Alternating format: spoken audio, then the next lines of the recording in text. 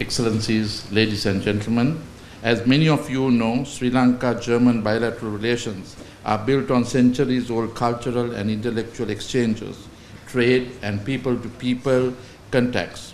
Our formal ties of friendship and cooperation have flourished and grown from strength to strength since the establishment of diplomatic relations 66 years ago. As our country is poised to become a key commercial and financial hub in South and Southeast Asian corridor, German business and investment interest too has increased. Germany has continued to assist Sri Lanka to strengthen its vibrant democratic credentials and traditions and promote human rights.